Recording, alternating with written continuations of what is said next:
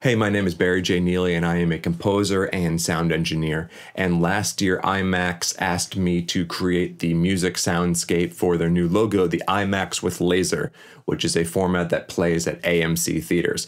And today, I wanted to take you through the creation of that and how I did it. So, what you're looking at right now is the program called Pro Tools, which I use to make the music and the sound for the logo. And I'm just going to play it through, and then we're going to talk all about it.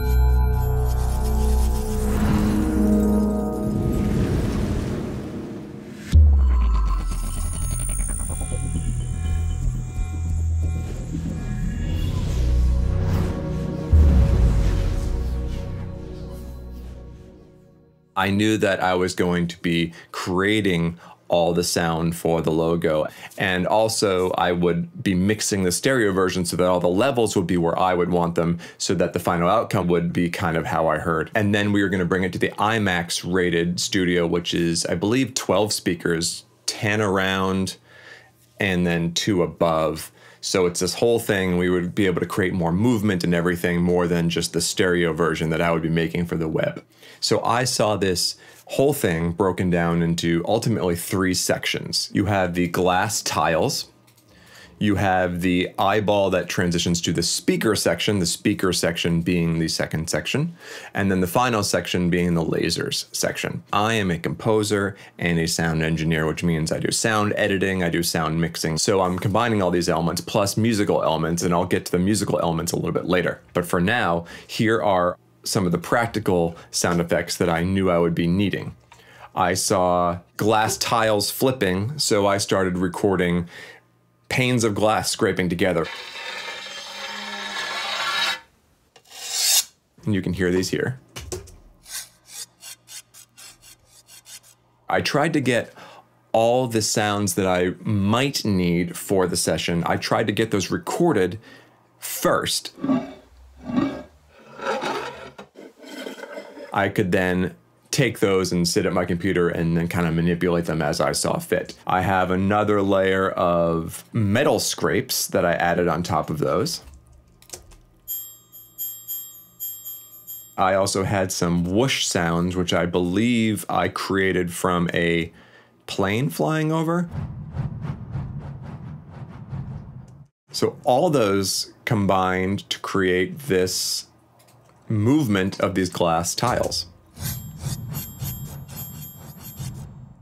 I also have another element in there. And even though I said that the synthesized elements are what came later and they're kind of the more musical aspect of it, I also use synthesizer sounds to um, give me more of a little bit of a high end kind of sheen or glimmer, is the word I use to describe, for these glass panes. So just that little added extra layer. Play it all again. You heard a little bit of the shimmer, a little bit of the metallic sound, but they're all layered together and then blended or mixed to sound how I wanted them to sound. So it starts with an individual tile flipping and it devolves into smaller pieces. So I did that with the glass itself. I had big tile scrapes and then eventually goes to just broken pieces of glass. And I actually recorded those. I shattered bottles and I actually ended up manipulating these shards of glass with my bare hands because the gloves were making it sound different than I wanted. So all this glass devolves into big to little. And I also shuffled a deck of cards. I felt that that would kind of reflect the action pretty well too.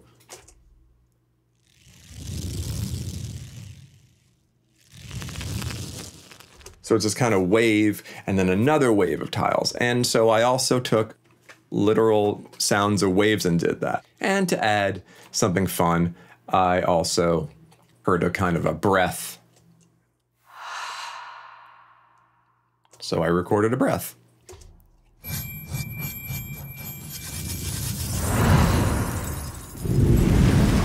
So for the second section, there aren't a lot of practical elements. Uh, that's because I wanted to rely heavily on the synthesized elements that I could get the super lows and the super highs with just synthesizer elements. But I did use some practical sound effects. I tried to do like a pulsing, sucking sound, and I tried to create that with sound effects, but I ended up just doing it into a microphone, going something like that.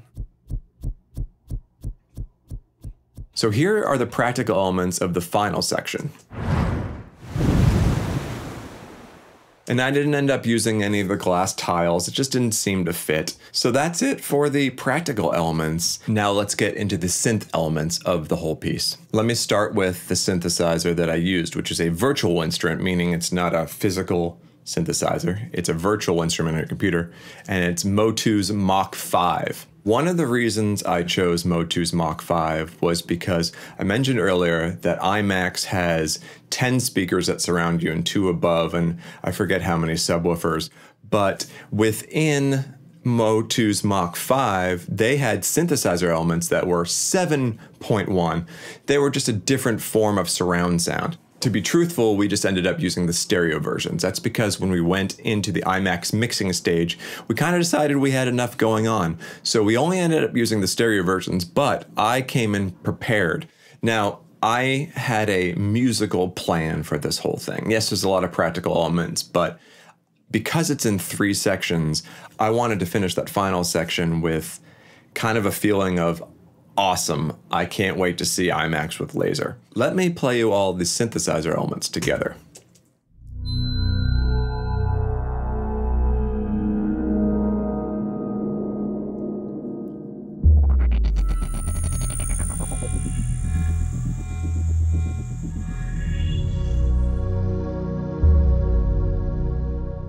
So I just ended up using a 1 4 1 chord progression. The root note, which I chose is B. The second section has the full chord of E major. And then it finally goes back to a B major chord with the third. So you have this.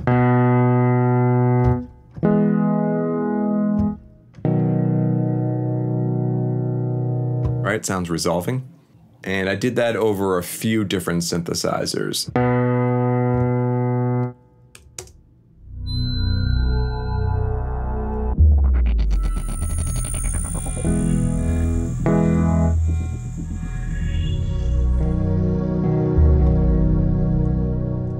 So it's subtle, it's hinted, but it has the feeling that you want at the end of it. And of course, there's other things going on. For instance, I used a synthesizer that had added to the glimmer. I just guess I just wanted that one glimmer at the beginning. And then you, of course, have this awesome motion bass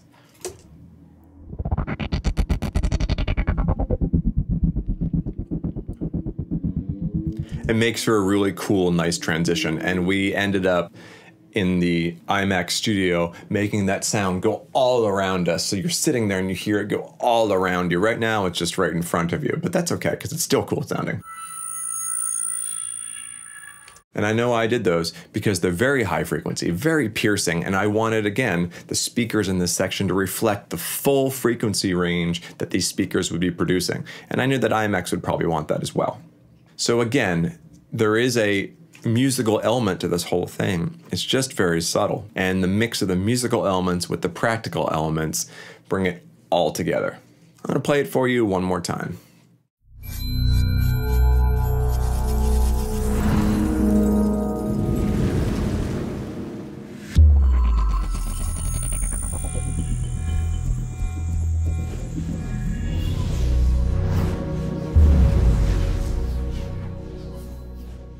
And that is how you create a music and soundscape for a logo.